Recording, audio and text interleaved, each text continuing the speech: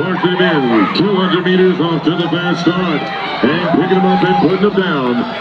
Cedar Hill, DeSoto, Duncanville. 50 meters remaining to get into play. Into 200 meters. It will be.